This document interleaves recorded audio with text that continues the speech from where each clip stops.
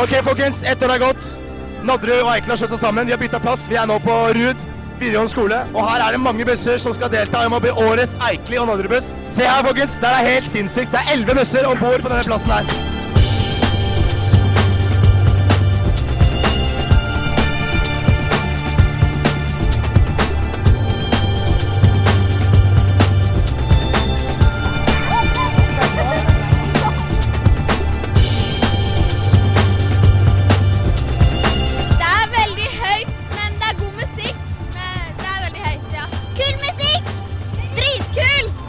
Mange fester rundt i mitt liv, ass, men den der, det er den største diskusjonen jeg har sett noensinne. Se på det, da!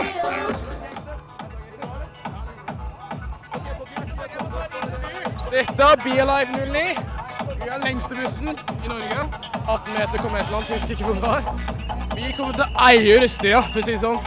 Har du hypp på å vise oss bussen, eller? Vi skal følge med, skal, vi skal se Norges lengste russebuss. Vi ligger begge på gress, folkens. Vi går på gress. Det var deilig å gå på, egentlig. Eh, Vi begynte å bygge rundt i sånn januar og av februar-tida. Og så bygger vi ganske sikkert de to siste ukene. Når vi kjørte her, da var det bare sånn, vi har sendt det flere ganger at det er et veldig useriøst konsept. Men at vi bare skal ha det fett i Rustad. Og sett en som heter Be Alive. Det er bare å være i liv i Rustad. Det er bare å gjøre liv. Det er litt stas å være mor når det er så søndagsruss. Ja, ja, kjempegøy. Hva er det du gleder deg mest til i Rustad? Altså treffe nye folk og bare feste helt vilt. Det er det russetid egentlig. Gleder du deg til den, uh, uke, den måneden som kommer nå, eller? Nei, Det gjør jeg ikke. Det er en måned hvor det skjer uh, veldig mye som ikke alle har lyst til å snakke så mye om etterpå. Men det var jævlig morsomt. Det er det da. Og vi skal til applaus for russetiden 2009. Ok, folkens, Da befinner vi oss utenfor en buss som er relativt ganske stor. Den er blå, den er gul, og den er hvit. Og vi står sammen med Julia fra forelø- Før heter det det det? Og og nå heter dere Drumline. Drumline. Og det er liksom konseptet på trommeslager og Det er eh, trommekorps det er snakk om her. Det lyser opp hele rundingen der, om man kan si det så. Og på andre siden så ser man eh, Det er på en måte 3D, da. Da ser man alle disse trommemennene som slår på og er helt gærne. Folkens, da tar vi en tur inn i bussen og sitter og så ser åssen det er der. Veldig trommeinspirerte mennesker her. Har vi stykket hull i baren. Smelt man noen trommer. Her er det lys når det er mørkt. Det var meget behagelig å sitte her. Du ser jo bare se sømmene, bare se alt er bare knallbra. Dette har du gjort selv, eller? Nei. Er det uniformene deres? Har, har Det her er kreativt. Laget av russedress, selvfølgelig. Nå er jeg litt satt ut her, fordi jeg jeg er altså inne i, eh, inne i eh, drumline, og jeg møter en dame som jeg tror har kostyme på seg, men det er jo ikke kostyme. For det er jo uniformen deres som skal ha på hele russetiden. Og så er det ryggen nå. Det er helt fantastisk. Du har skrytt så fælt av den sofaen. Du har skrytt så fælt av den sofaen. Hva er det som er så spesielt med den sofaen her? At den er god å ligge på, det har jeg fått kjenne nå. Sømmene. De er helt fantastiske. Men det som gjør hele sofaen, da, det er de fantastiske, utrolig stilige knappene her. Det er én ting alle har lyst til, alle har lyst til å gjøre. Hva er det du har mest lyst til å oppleve i løpet av russetiden? Få Ut, ut av. Det er vel egentlig det jeg kan gjøre hva faen jeg vil, fordi jeg er russ. Er det, er det sant sånn? Når man har på seg russebukse, så kan man gjøre hva man vil? Ja. Det er det. Tror dere det? Nå befinner vi oss eh, bak på Konstitusjonen, største Eikelibussen eh, i år. Og hvis du tar en titt på de greiene her Jeg er ikke noe teknisk av meg selv, men det her, det her er sinnssykt. Jeg, jeg har litt lyst til å snakke med han lydmannen som er på Konstitusjonen. Vi har per side har vi ca. 100 000 watt 100 000 watt, altså. gange to. Vi har to bananer, så det er to ganger 100 000.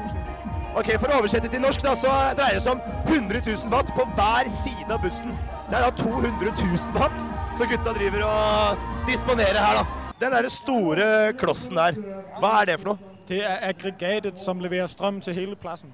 Ok, Så de leverer ikke bare til konsesjonen? Nei, det er til hele plassen. Hele, men hvor, hvor, mye strøm kan den levere? Altså, sånn det tør jeg ikke si. Da må du snakke med aggregatmannen. Men hvis du skal tippe, da, sånn cirka? Uha, uh, meget, meget. Nesten til en hel by. Nesten, Nesten til en hel by. Det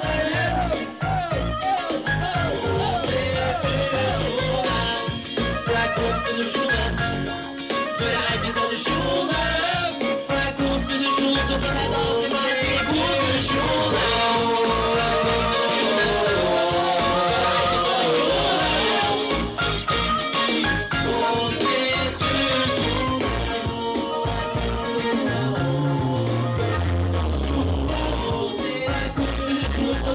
Det er første stolthet, tror jeg. Ja. Jeg syns de har vært kjempeflinke. Betalt, betalt alt selv. De har betalt alt selv. Ikke støtta noen ting. Ikke støtta noe annet enn å vekke fra han skal gå på Kiwi om morgenen.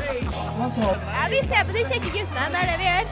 Det er mange som har fått uh, Simon i dag, men eh, det er eh, bare hyggelig. Det så lenge de spør pent og er noenlunde nydusjet og sånn, så er det helt greit. Hva syns du om lydnivået? Ja, det er veldig bra.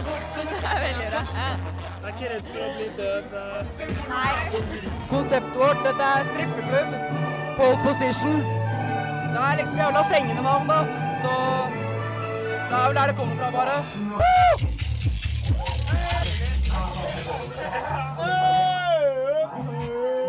Hva er det du ser fram til i russetiden mest, da?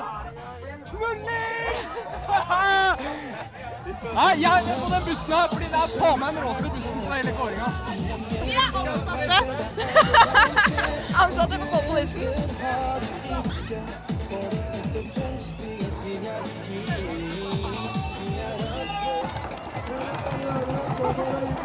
Thank